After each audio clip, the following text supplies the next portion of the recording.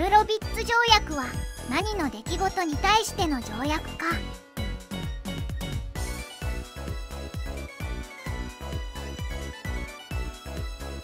答えは第二次ウィーン包囲ね。クリミア半島を手に入れた時のロシア皇帝は誰か。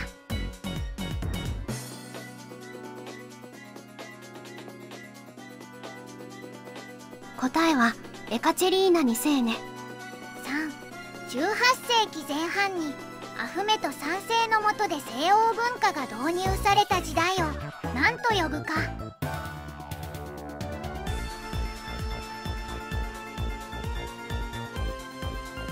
答えはチューリップ時代ね。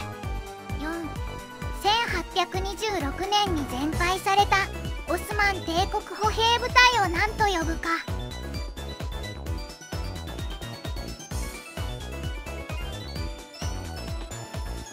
答えはイエニチェリね。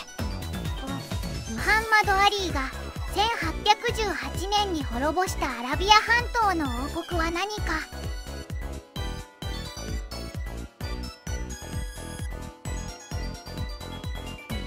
答えはワハーブ王国ね。6ムハンマド・アリーが行った国内政策を簡潔に述べよ。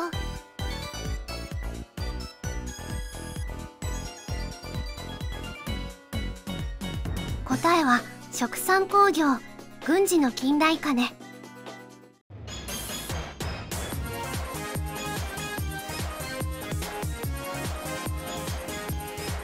7タンジマートを開始したスルタンは誰か。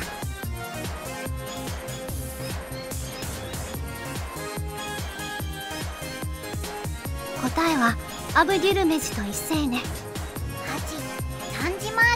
ートを開始するにあたって交付された一連の法のことを何と呼ぶか。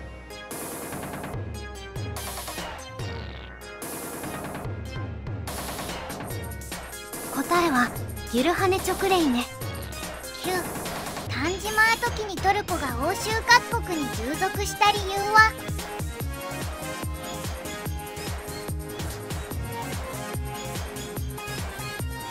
答えは財政破綻によって外国資本への従属が強まったからです。春1876年に発布されたアジア初の憲法は何か？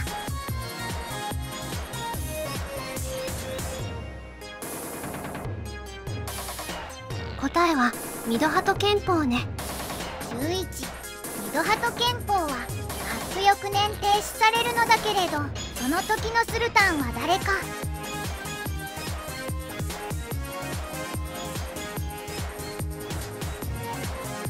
答えはアブデュルハミト2世ね。12アブデュルハミト2世は何を理由にミドハト憲法を廃止したか。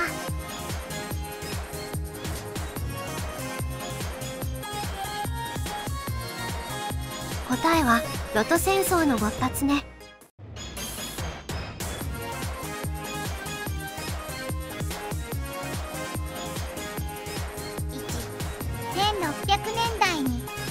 イギリスがインドに召喚を設置した場所。を3つ挙げよ。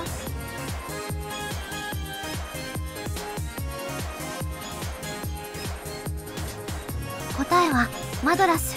ボンベイ。カルカッタね。マイソール王国のあった場所はどこか。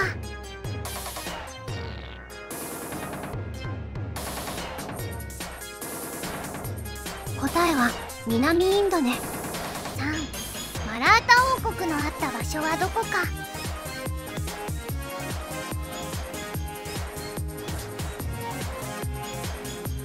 答えはデカン高原西部ね。4筑王国のあった場所はどこか。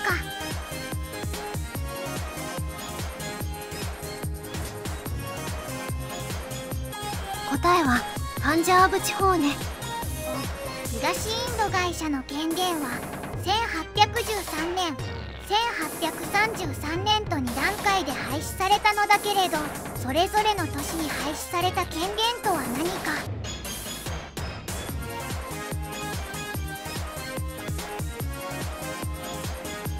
答えは1813年にインド貿易独占権廃止。1833年に中国貿易独占権廃止と商業活動停止でした。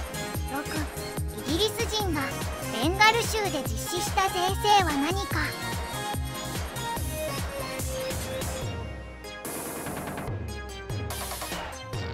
答えはザミンダーリー制で。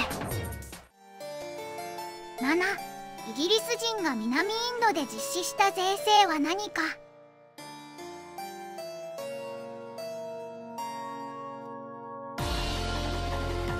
答えはライアット・ワーリー制ね。ド近代化の父と呼ばれサティの廃止などに努めた人物は誰か。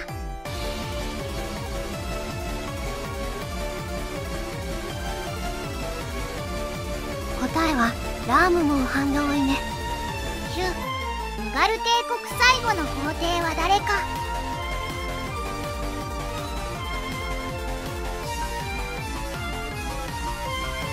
答えはバハードルシャー2世ね。10シパーヒーはどこの町から反乱を起こしたか。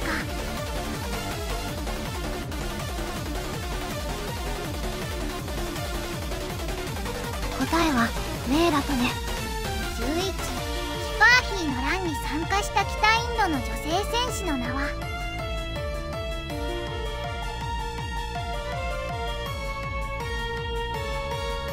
答えはラクシュミーバーイね。12ムガル帝国崩壊後大小500600にも及ぶ数で存在しイギリスのインド統治に協力したものは何か？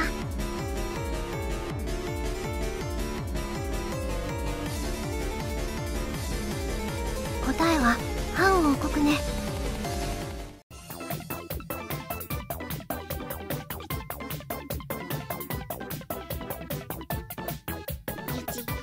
1796年から1801年に起こった白蓮教徒の乱の意義は。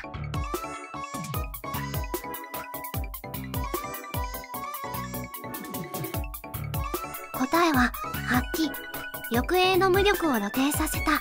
です。2アヘンの密貿易に従事した在関東のイギリスの会社名は何か。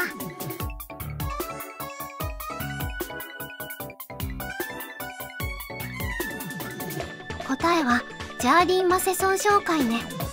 3アヘン戦争中に甲州郊外の農民がイギリスに対して起こした反乱は何か？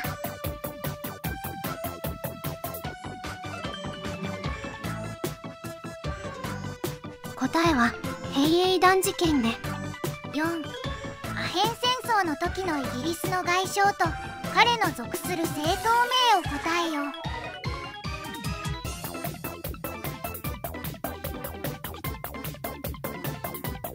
答えはパーマストン。自由党ね。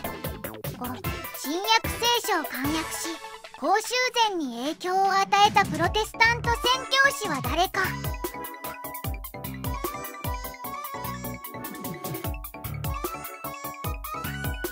答えはロバート・モリソンね。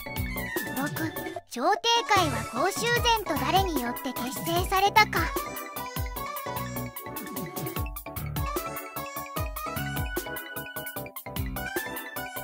答えはムーン山ね。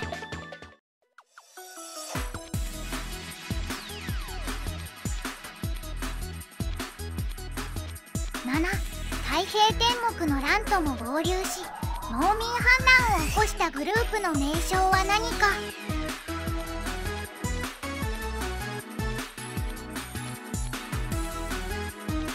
答えは年軍ね。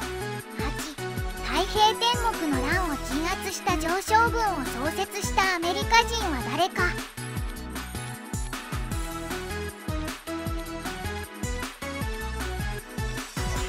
答えはウォードね。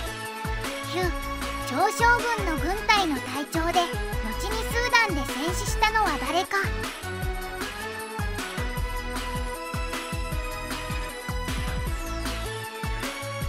答えはゴードンね。に参加した口実となった事件は何か？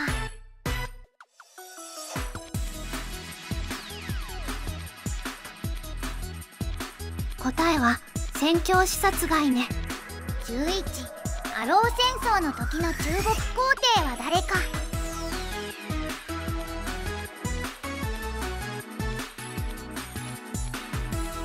答えは漢方帝ね。総理衙門が設置されるまで中国ではどの役所が外交を担当していたか。